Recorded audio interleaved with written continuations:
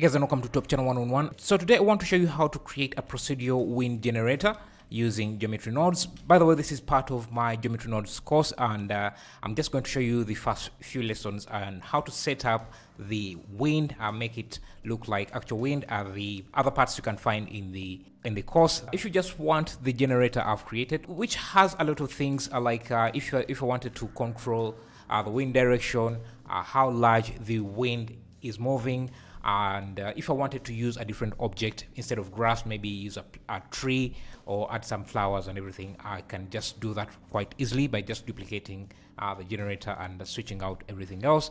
Uh, if you want to get the project files for this you can find that on my patreon page or on my gumroad page. But if you want to check out the whole course uh, that is going to be on on udemy. Links are going to be in the description this section and lecture is going to be an answer to a question asked by one of the students. Could you teach how you can make animated grass with wind? Uh, that's a good question and uh, let's see what you could do. So this question, this section is going to be about making animated grass like that. So if you have any questions like this, you can always ask and uh, if I have time, I'll be able, I'll make a video about it. So let's start right away by setting up the project. I'm going to start with a plane I'm going to subdivide it a few times and uh, then go to geometry nodes and start setting up some grass. Uh, the first thing I want to do is start with some grass blades. Of course, you can use uh, any geometry you have. Maybe if you have a collection of grass models, you could use that. But I'm just going to create something simple here as a grass blade. And uh, just doesn't have to be too detailed and in fact you don't want to make it too detailed uh, because that would increase the simulation or it, it would just slow down geometry nodes. And the other thing I want to do, I don't want to just have one single grass blade. I can duplicate this a few times and I'm going to rotate uh, from the pivot point here and just get a pile of uh, blades, random blades in different angles in if different angles just like that. So this is going to be my grass blade and now I just have to instance this on to the ground. So I'm going to jump into geometry nodes and use a distribute points on faces. Uh, you can have as many points as you want. Then the next thing is to instance on those points using the instance on points node and drag the grass blade in here, connect it as the instance and we have something like this. Now for the rotation, just drag the rotation into the rotation.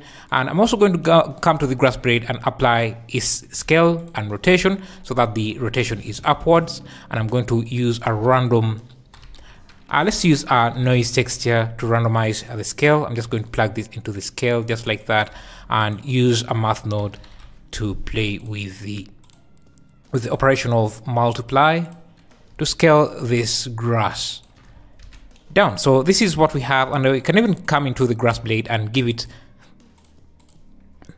um, grass material, maybe something dark like that. We can now look at this in Eevee.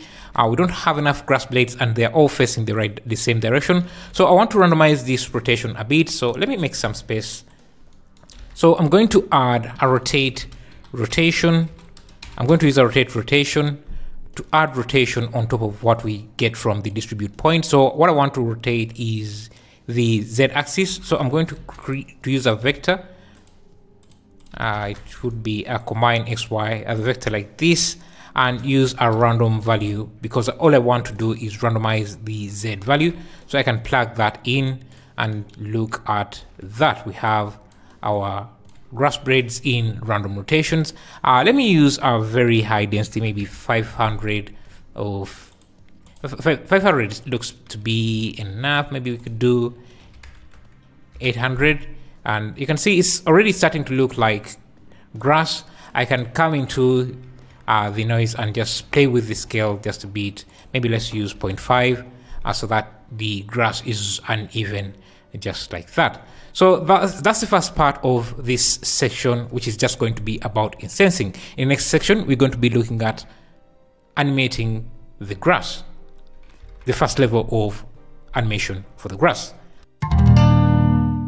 So this is part two, and we are continuing with the section. So we left off instancing the grass. Now let's start working on the animation. So grass like this can be easily animated by simply rotating the instances. Since we have instances here, we can use the rotate instance node and just plug it in here. So whenever I rotate this, you can see we have uh, something. Now I just have to find the right axis to rotate. And I think either the X or the y-axis could work. So we want to figure out a good way to rotate these instances. And uh, what I found is if you use either a noise texture or a wave texture, you can create some nice rotations. So if I get the wave texture and use Ctrl Shift to preview this node, I'll look at just the instances and uh, you can switch the domain to instances so that you can see how uh, this wave is looking. And I'm going to scale down waves so that we see uh, the wave patterns just like that. As you can see, we have a gradient that grows from zero here,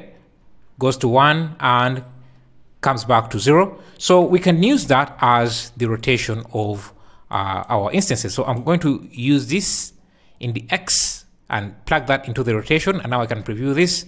So you can see that all the instances in the white area are given a rotation and the instances in the which would be the dark area or zero area are not given any rotation. So with this, you can see whenever this the wave texture is animated, or changed, you can see the rotation is changing, but the values are very small. We can also add some negative values by using a map range to map these values. Uh, so I'm going to map the 0 to 1 range to a negative 1 to positive 1 uh, range. So this is what we get. Now to animate this, let me first turn off the overlays. Now to animate this, I can come in here and use the position of our instances as the coordinates and I can plug that into the vector. And if I want to animate this I can use a vector math vector math and just add a value to the x and you should see that the waves are now moving in the x in the x-axis you can also move them in the y-axis but because the y-axis are white and black values you can't see the waves moving in that direction. Uh, but they are moving except that uh, is, is you can't visually tell. Now, from there, I don't want the waves to just be simple like this. You can also just come into the distortion and add some distortion just like that so that the waves are moving more randomly and more organically. So I'm going to first turn off the viewer here so that we can look at this. And I'm also going to increase this to maybe 200 to 1100 so that we have more particles.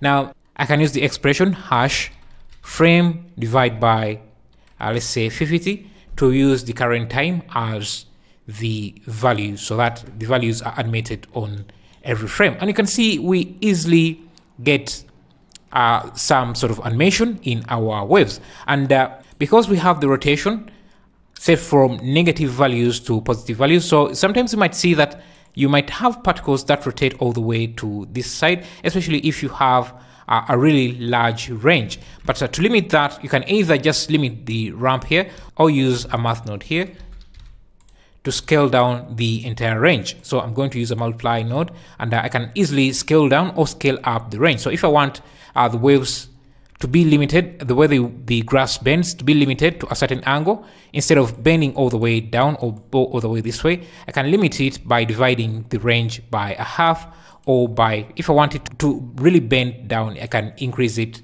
by way too much. And you can see now the grass is almost rotating 360 but we don't want that. We want to limit the range, the range maybe to 0.8 so that the grass is not too bendy. You can already see the wind patterns and this already is enough. But uh, if you want to go an extra step just watch what we do in the next lecture. Thank you for watching. Again that was two lectures from the new section that I've just added to the Geometry Nodes course. Uh, if you want to check out more Geometry Node content, you can check out the course. Uh, by the way, I also have a Houdini course teaching Houdini from the perspective of a Blender artist. If you want to take that on, uh, that is also available so that you can escape Blender add-ons. I just think of Houdini as a master add-on for Blenders. Nowadays, if I want to do anything that I can't do in Blender, I just open up Houdini and do that there uh, instead of downloading hundreds of add-ons. Buying Houdini versus buying add-ons ends up roughly at the same cost, but uh, with Houdini you have the additional advantage that you, if you learn it, you can use it in other ways, and uh, it's something you can add on your resume as a skill. So anyway, if you, if you want to check out all of this, all links are going to be in the description. Thank you. See you in the next video.